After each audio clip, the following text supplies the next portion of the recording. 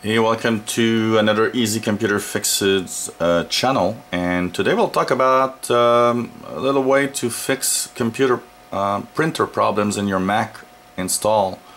One of the common problems with printers is the fact that the driver can get corrupted or sometimes uh, it just changed port for some reason and the computer can't really see it anymore especially if wireless printers. Uh, if you have a wireless printer, the first thing that you should do is unplug your router and plug it back in and wait a few seconds. Uh, restart your printer. Um, common printer problems are often because of communication problems between the routers and the printer if you have a Wi-Fi a wireless printer. Now if you have a USB plugged in printer and you're having problems well, the first thing you should do is go on the upper right of your Mac into the Apple, go into System Preference, and go into your print and scan icon. Now you'll see a printer there is available.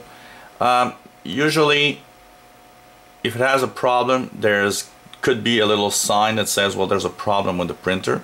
But if it doesn't work, what I suggest you do is printer at the bottom you click the little minus sign. It's gonna remove it's gonna delete your printer. And once you've done that click on the plus sign to add your printer again.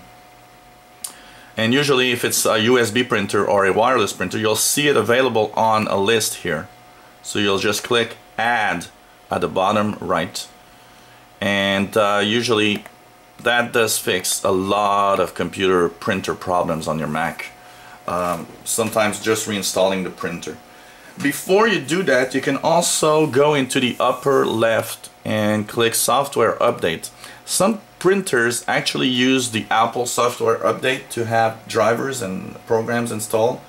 So what happens is that by going to soft software update, if the printer has a new driver uh, available from the Apple uh, from the Apple website, it's going to show up in the, the, the, the updates.